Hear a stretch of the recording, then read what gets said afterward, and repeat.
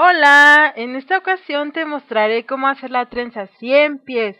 Este tipo de trenza la podrás utilizar para casi cualquier ocasión. Espero te guste, comencemos.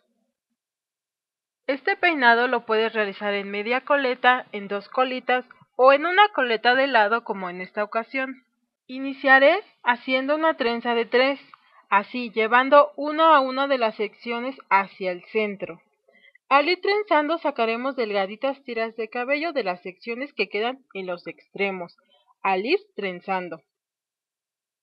Tú podrás decidir dónde comenzar a sacar las tiras de cabello. Yo lo haré de ambos lados al ir trenzando. Como puedes observar, es solo ir repitiendo el mismo procedimiento, soltando delgadas tiras de cabello y continuamos tejiéndolo.